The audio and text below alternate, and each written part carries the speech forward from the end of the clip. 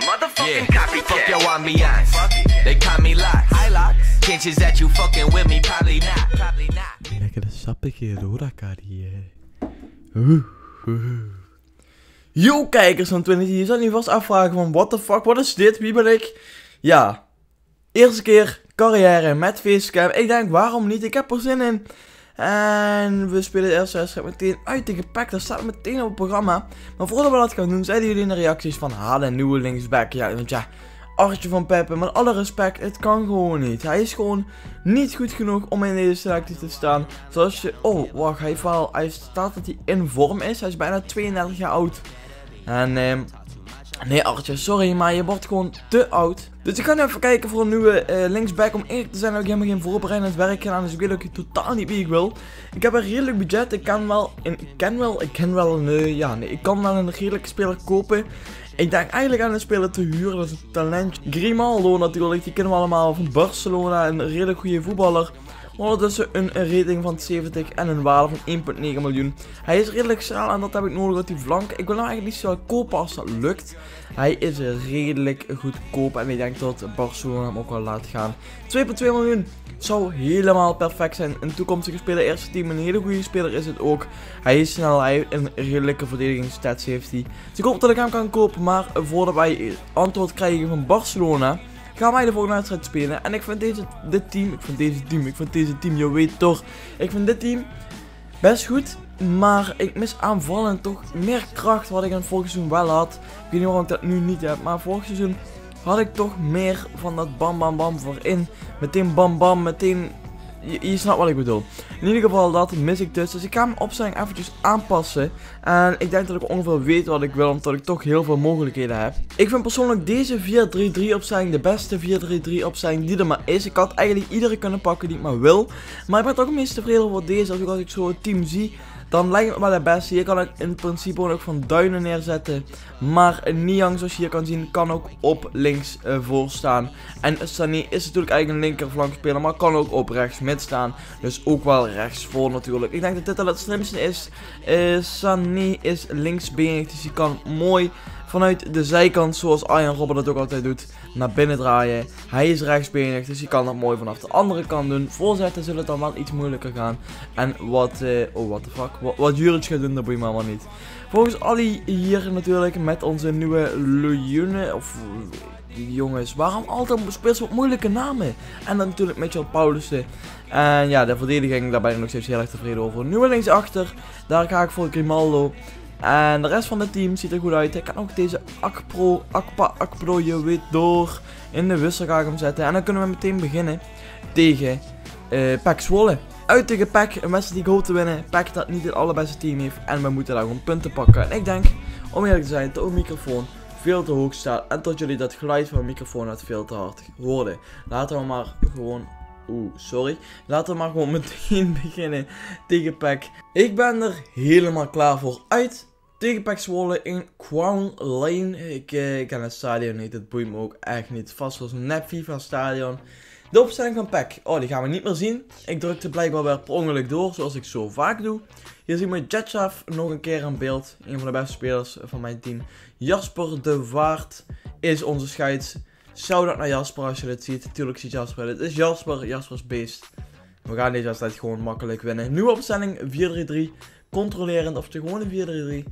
Nee, 4-3 valse spits is het. En we moeten gewoon winnen. Zo simpel is het. Dit is echt fucking irritant. Mijn camera staat precies zeg maar voor het stukje waar je kan zien welke speler aan de bal is. Dus ik moet eigenlijk mijn camera zo. Als jullie me nu niet meer goed zien, dan ben ik echt fucked up.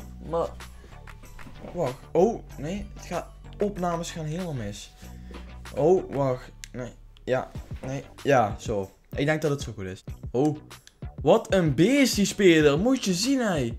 Hij gaat ervoor. Ik denk trouwens dat ik zijn naam gewoon ga uitspreken als Le Jeune. Want ja, dat klinkt wel leuk. Oh, oh oké. Jeune. Ja. Klinkt heel mooi. Maar daar gaat het eigenlijk niet om deze wedstrijd. We moeten eigenlijk gewoon winnen. Dat is het eerste wat belangrijk is. En dat ziet er niet heel erg goed uit op dit moment. Jang. Kijk daar, Paulussen. Oh, dat is een verkeerde paas. Maar die komt er eigenlijk wel mooi terecht hier bij Paulussen. Die dribbelt zich dan ook perfect uit. Paulussen, dat moet hem... Fucking hell. De hele tijd net niet. De keepers worden te goed in FIFA. Dat is gewoon zo. Ze, ze doen soms dingen doorlaten waarvan je zegt van what the fuck. Maar hier zijn ze wel erg OP. Dan wel nog een keer. Nee, niet nog een keer. Mensen, ik zit gewoon echt in een FIFA dip. 1 schot op doel, 40% balbezit, 5 tackles, 1 keer buiten spel. Waarom? Dit keer is wel nauwkeurige passes 90%, het gaat ook goed. Alleen ik moet toch meer bij het doel komen. Ik moet meer druk zetten, meer dreiging kunnen geven. En ik moet kunnen scoren, want dat is hetgene wat zo lastig is de laatste tijd bij mij. Ik ga het meteen wisselen. Ik, ik meen het. Juric maakt ze dit seizoen niet zoals hij dat vorig seizoen deed. Misschien is hij gewoon eventjes niet in vorm, dat kan natuurlijk ook. Misschien kan Van Duinen het doen als hij daar genoeg tijd voor heeft. Van Duinen dus nu in de spits in plaats van Juric. En ik denk dat het een hele belangrijke wissel is. Van Duinen is wel echt een doelpuntenmaker en misschien wel een ander type speler als Juric. Even zonder grapjes, als je wilt dat een speler opvalt in je team, dan moet je gewoon Van Duinen kopen. Zijn haren zijn niet normaal rood op FIFA. Dat, in het echt ziet het er ook niet uit. Het is gewoon, het is gewoon bijna Bassie. Van Duinen, Van Duinen is gewoon Bassie 2.0. Kijk nou. Kijk nou, met, dat gele shirt, dat is gewoon vloekend bijna. Dat is het gewoon intimiderend voor iedereen met rode haren. Maar in ieder geval, ja, allemaal Van Duinen toch. Allemaal, allemaal Van Duinen. Oh, what the fuck was dat geluid? Nee, wacht even. Nee. Nee. Oh, damn. Wil ik ook eens een wedstrijd met facecam opnemen? En, oh. En dan is op telefoon leeg, dus ik kan het niet opnemen. Nou, de rest is zo zonder facecam. Lekker sappig, Timo. Weer heel goed voorbereid. En dan krijg je een vrije trap tegen. Heel goed, Timo. Lekker goed. Oh. Wat? Oh, ik was niet opletten. Ik was niet... Oh, oh, oh, oh, oh. Weg, weg, weg. Get the fuck away. Get the fuck away. Moet rustiger worden. Gewoon bam. In één keer alles op de aanval. Meteen bam, bam. Meteen boom. Oh, fuck. Nee. Ja, kijk. Jetchaf. Dit is weer zo'n actie. Dit is weer zo'n actie. Nu hier Sané die diep gaat. En Sané veel sneller. Als je de bal gewoon diep speelt voor jezelf. En dan hier om van hinten heen zou kunnen komen. Nou, wie weet waar de bal dan uitkomt. En dat is bij de hoekschop. Bij de cornervlag dus. Dus kijken, wat kunnen we hier allemaal doen? Natuurlijk kan Ali die bal altijd mooi erin leggen. En die komt daar perfect bij Niang. En dan is het niet Niang die dat scoort, maar dan is het de computer die automatisch scoort met Jetchaf. En het is serieus, het is alweer een verdediger dat die scoort. En alweer uit een spelervatting. En ik geloof dat het de tweede doelpunt is van Jetchaf. En dat die nou gewoon onze clubtopscorer is. Het is toch niet te geloven. De enige die doelpunten maken in mijn team, dat zijn de verdedigers. Chambers en Jetchaf zijn geloof ik de enige doelpuntenmakers tot nu toe. En, en van Peppe. Ja, ik geloof één. Ik geloof Juric één en voor van Peppe, Jetchaf en Chambers. Heel vreemd, maar het is blijkbaar zo. Thomas, zo, die kan hier de bal over de keeper inlopen. Doet dat niet. En ja, daar zit onze verdediger natuurlijk wel mooi bij. En dan zie ik hier Sané vrij staan je wel je onder controle zou kunnen krijgen. Dat lukt uiteindelijk wel nog via Mike van Duinen. En dan kan Niang hier komen. Niang! Niang! Yes, eindelijk. Dit is goed voor het vertrouwen. Een prachtig doelpunt in de 90ste minuut tegen Pek. Dat betekent dat we deze wedstrijd winnen. Dat betekent dat het vertrouwen terug is. Dat weer een spits scoort. De tweede keer dat een spits scoort dit seizoen. Wat ook wel belangrijk is voor het vertrouwen. En tot wij drie punten op zang, op zang hebben, op zak hebben. Na deze goede actie van Van Duinen. Kan Yang de bal prachtig om Bejois de keeper van Pek Zwolle heen krullen. En daarmee winnen wij deze wedstrijd met 2 tegen 0. Twee doelpunten na de 80ste minuut. Wel uiteindelijk verdiend, want Pek heeft ook niet veel gecreëerd. De wedstrijd is afgelopen en we winnen met 2-0. Verdiend. Het was weer geen goede wedstrijd. We hebben toevallig twee keer gescoord. En het eerste, kijk nou, drie schoten, drie op doel. Dus we hebben twee keer geschoten en twee keer gescoord. Dat is, ja, dat is gewoon geluk. Dat is gewoon geluk. We hebben een spelervatting gescoord en een diepe bal. Dat zo kan je het gewoon in één keer omschrijven. Het was een hele slechte wedstrijd. Wij binnen. En zoals uh, helaas de overleden uh, Johan Cruijff uh, vroeger ook altijd zei. Een, een wedstrijd hoef je nooit mooi te winnen. En dat hebben wij nu ook niet gedaan. Maar we winnen hem toch. Le Juan is ondertussen bijna 67. En ik hoop dat hij al snel de 70 behaalt. Jongens, Van Peppe is mad op me. Van Peppe is boos. Maar, Van Peppe, ik heb heel slecht nieuws je gaat toch het team uit, want je bent gewoon niet goed genoeg. We hebben het niveau gewoon niet wat op dit moment de rest van het team wel heeft. En ik... Oh, oh, oh, Barcelona en... Oh, 3.1, dat is net iets te veel. Ik kan misschien net 2.6 betalen of zo. Maar 3.1, dat kan echt niet domme kiezen, want ik, ik heb het geld gewoon net niet. Lavarier, als ik hem nou zou verkopen, ja, hij moet sowieso weg. Hij is het echt ook uitgehuurd aan MVV of zo, maar in ieder geval Lavarier. Hij komt nooit in de basis, hij is gewoon niet goed genoeg. Net zoals de Rix of Derrix, die ik ook al heb verkocht en dat soort spelers. Moet Lavarier dan ook maar eraan gaan geloven. Die is dus nu verkocht. En ze willen nog steeds 3,1 miljoen. Ik ga nou nog iets hoger. Ik kan nu namelijk uh, 2,8 betalen. En om eerlijk te zijn denk ik dat ze met 2,8 wel akkoord zouden gaan. Omdat dat gewoon nog steeds niet uh, weinig is zeg maar. 2,8 vind ik best veel. Voor een speler waar ze uh, 3,1 voor vragen. Dat kan op zich wel. Aanvaard. Kijk dat is mooi. En nu gewoon een goed bordje voor neerzetten. 30k salaris 5 en die 4 jaar cruciale speler. Want dit is een heerlijke speler. We huren hem niet. We kopen hem meteen. Ik heb hem al een keer gehuurd. Het is weer teruggegaan. En nu moet hij dan ook gewoon voor altijd bij mijn club komen. Grimaldo, hij kent Roda vast nog wel. En daarom heeft hij ook meteen aanvaard. Onze nieuwe topper op linksachter. Ik ben daar heel tevreden mee. En wij hebben nu een compleet team dat waarschijnlijk beter zal gaan spelen. Omdat we nu snelheid over links hebben met Grimaldo en Niang, kunnen wij heel veel op die flank. Op de rechterkant hebben we dan Chambers die gewoon heel erg goed is. En Sané die ook gewoon goed is. En daar moet ik heel veel gebruik van gaan maken van die flanken. Laten we in ieder geval maar nou wat snel doorgaan naar de volgende wedstrijd. Want ik ga niks meer doen in de transferperiode. Behalve als ik natuurlijk nog een transferaanbieding krijg die ik nu geloof ik heb gekregen. En dat is voor Art van Peppe. Dit is voor Artje. En dat is 600.000. En ja, weet je, hij heeft een uitstekende vorm staat. Hij is 8 en, eh, 68 rated, 31 jaar oud. En sorry Artje, het was een mooie eh, samenwerking die wij altijd gehad hebben. Maar het is afgelopen. Af van Peppe gaat weg naar de graafschap. En het echt zal Af van Peppe ook niet meer heel lang bij blijven.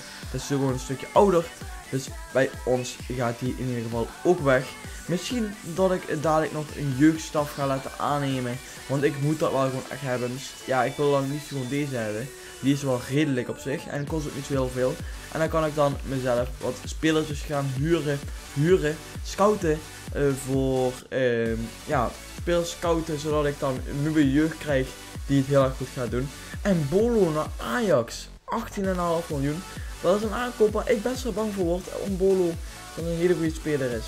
Wij op een actie plaatsen nu. En we gaan door met de carrière. Le Jeune is alweer een rit omhoog. Hij is al 67 zie ik. En hij is zelfs al bijna 68 nu. Wat de actually fuck hoor. En we moeten nu tegen de graafschap. En ik vind het best wel. Um, ik vind het best wel leuk eigenlijk tegen de graafschap. Want er zitten nu best wel veel spelers bij. Waarvan wij. Uh, die wij hebben verkocht. Ik had natuurlijk nog die aanbieding van, uh, van Portugal. En sommige van jullie zeiden doe het. Sommigen zeiden doe het niet. En puur omdat je, sommigen jullie zeiden van doe het niet. En de reden die jullie erbij gaven is, daar ben je nog wat tijd aan kwijt. En het gaat vooral om Roda. En Roda aan Portugal is totaal geen link.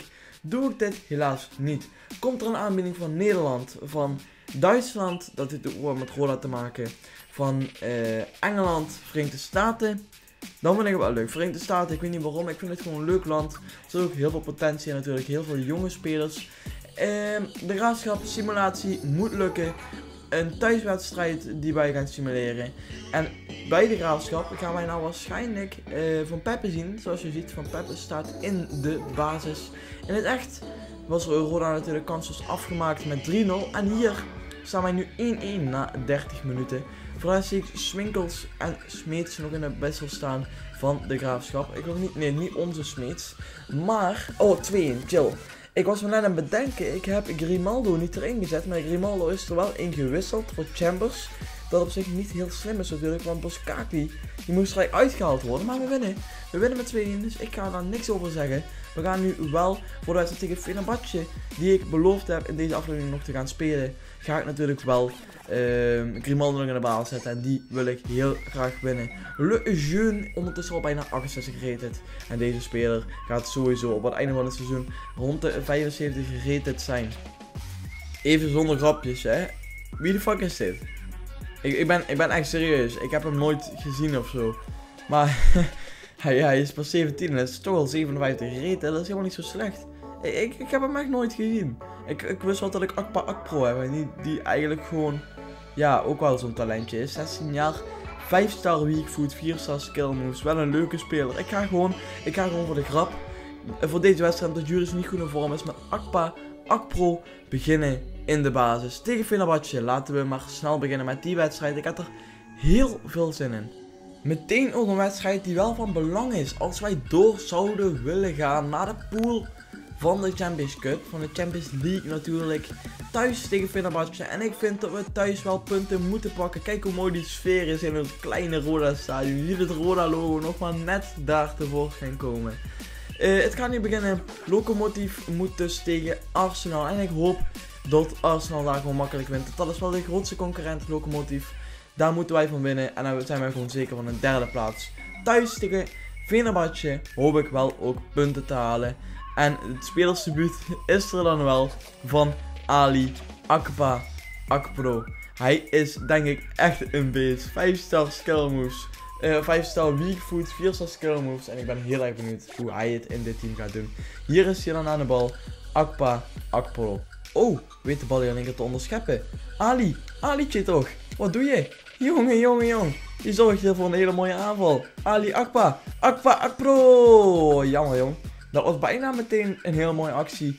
Waardoor we met 1-0 voorkwamen tegen Fenerbahce. Maar dat wordt het niet. Robin van Persie. Misschien wel de beste speler van Fenerbahce hier aan de bal. En dat is wel een speler waar ik best bang voor ben. Voor zijn gevaarlijke schoten van afstand natuurlijk. Die hij kan lossen. Ben ik heel erg bang. Dan krijg je een vrije trap. Die hij misschien wel direct kan nemen vanaf daar. zijn ik 30 meter. Maar dat doet hij niet. Neemt een kort snel vrije trapje. En dan komt hier Diego los. En die schiet dan op de paal. Dat is gevaarlijk hoor. Oeh, Chambers. Like a boss. Tegen een oud Manchester United verdediger doe je eventjes alsof hij niks is. Gewoon verdediger. Gewoon een oud Manchester United speler bedoelen. Oh, nee, nee. Geen rood. Geen rood. Geen rood. Nee, geen, nee, nee, nee, nee, nee, nee. Het was niet eens een erge overtreding, jongens. Daar gaat de droom. Daar gaat de droom. Chambers. Het was geen erge overtreding. Maar ik zag dat de scheids in één keer ging fluiten en ik dacht, dit is foute. Dit is hele foute boel. Onze rechtsachter, nu weg. Oké, I fucked up. I fucked up. I fucked up. Oh, wat een geluks... Oh, hij wordt afgekeurd. Wat een geluksdoelpunt was het anders toch geweest. Kijk nou. Ja, lekker voor je. Jongen, jongen, jong. Wie komt hier erin? Ja, ik heb hem niet gezien. Boeit het niet. Maar in ieder geval, het staat nog steeds... het, staat nog, het staat nog steeds altijd, wil ik zeggen. Het staat nog eens 0-0. En ik wil nu echt een verandering gaan maken. Misschien wel ja met Grimaldo. De nieuwe aanwinst door op Niang. Dit is mooi. En Niang kan de bal hier perfect bijna houden. En die is ook snel genoeg. Die, die rechtsachter van hun is niet zo heel erg goed. Daar moet ik echt gebruik van gaan maken. Tikje door op Le Jeune. Die schiet mis. Ah, jammer hoor. Ja, Dinjar. Hele goede actie weer. Le Jeune, die verliest hem dan. Dan mis je toch een beetje dat talent wat die... eh wat die... Oh, fuck. Ja, ik wilde zeggen, dan mis je het toch een beetje. Die Dinjar, die doet het dan perfect. En dan verwacht je dat Le Jeune het toch beter doet. En dan scoort volgens Robin van Persie. Maar ik verwachtte dat, eh, ja, dat Le Jeune gewoon de bal mooi meeneemde. Maar die verloor hem daar. Sommige dingen mis je toch bij die speler nog een beetje. Maar hij moet natuurlijk nog heel erg veel groeien. Ik geloof dat Dinjar wel drie jaar ouder is of zo. Dus heel erg is het niet. 1-0 achterstand moet wel goed kunnen komen natuurlijk. Er zijn nog altijd genoeg minuten op de klok om misschien wel één of twee doelpunten te maken. Nu doet hij het wel goed. Nu doet hij het zelfs heel goed. En dit is een penalty. Hij zorgt nu voor een goedmakertje. Hij zorgt namelijk voor een penalty. Ja, misschien wel een rode kaart. Hij heeft dit helemaal perfect gemaakt. Nee, een gele kaart. Wel een penalty erbij. En ik, ik wil gewoon het debuut van Akpa Akpro heel mooi laten maken. Hij heeft helemaal geen goede stats. Hij kan zijn debuut hier heel prachtig gaan maken. Hij kan het van zilveren met een score van de penalty en dat doet hij ook. Mooi in de kruising en dit betekent dat Akpa Akpro misschien wel een van de slechtste spelers van mijn team op dit moment zijn eerste doelpunt maakt in zijn eerste wedstrijd. En hij speelt echt niet slecht, even serieus. Hij heeft 5 star weak foot, 4 star skill moves. Hij kan vanaf overal scoren en dit is zijn eerste doelpunt in de Champions League. En laten we nu maar gewoon doorstrijden voor die overwinning. Kijk eens, Akpa Akpro houdt de druk erop. Krijg je meteen een inworp mee na de penalty. Hij wil het graag hoor, dat merk je. Het is een strijdertje. En dat heb ik heel erg nodig in het team. Want mensen die scoren voorin en die heel erg graag willen die wil ik hebben in het team. En Akpa Akpro lijkt wel zo'n persoon, want kijk, je pakt alweer de bal af. Hier pakt hij weer de bal af. Tegen dan door Paulussen, die tikken me weer door. Heel mooi op Ali, en dit moet hem zijn. Ali! Nooit! Ali, Ali, Ali. Akpa, Akpro, misschien een solo. No, nee. Akpa, Akpro, Akpa, oh. Nee, nee. Dit was zo mooi voor die jongen geweest. Dit was zo prachtig mooi. Misschien nu dan. Akpa, Akpro. Akpa, Akpro verliest hem. Alles op de aanval spelen. Het kan nog. Ik heb het gevoel dat we nu het overwicht hebben. Dat we eindelijk wel die vorm hebben die we vorig seizoen ook hadden. Dat snelle spel over die flanken en vervolgens voorin afmaken. Dat moet nog even blijken, dat afmaken. En misschien wel hier uit een kans. Die Ali hier helemaal alleen heel mooi opzet. Op Le Jeune, die hem doorspeelt op Akpa. Akpa, weer net niet. Weer net, net niet. Misschien nog één laatste kans voor ons als die bal in één keer goed valt. Le nee, de wedstrijd wordt afgefloten. Helaas, 1-1. Het is niet slecht thuis tegen Fenerbahce. Dan mag een club als Roda. Een team zoals dat bij ons er nu uitziet, mag daar heel tevreden mee zijn.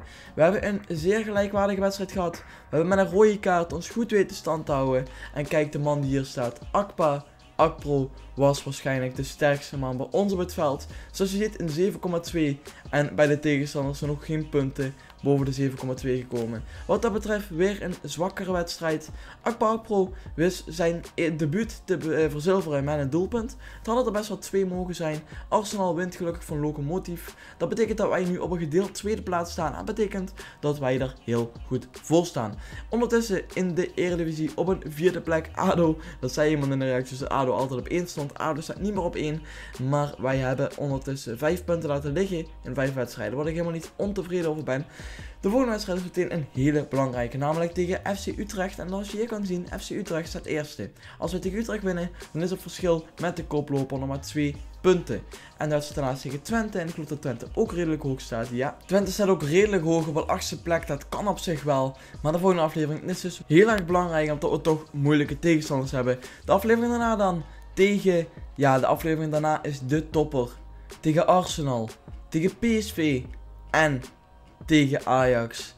Die aflevering die zal heel mooi worden. In ieder geval, die komt deze week ook nog online. Maar vandaag is het tot hier gestrand. Volgende aflevering dus tegen Utrecht en tegen Twente. En de aflevering daarna krijgen we een hele mooie aflevering. Hopelijk vinden jullie de Rode Carina altijd leuk. Ik denk dat jullie deze altijd wel goed ontvangen. Doe allemaal een blauw duimpje omhoog. Subscribe op Twinity. En dan zie ik jullie in de volgende aflevering weer terug. Later.